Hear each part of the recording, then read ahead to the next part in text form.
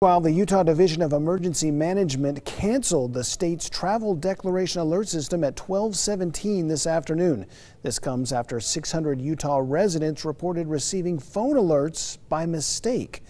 The system went into effect last Friday to send notices to the cell phones of travelers entering Utah asking that they fill out an online health declaration.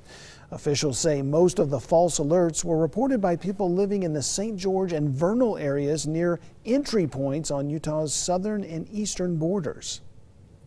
We do feel very bad about that because that is not the intent. The coronavirus is really kind of a strange time that we're all going through right now.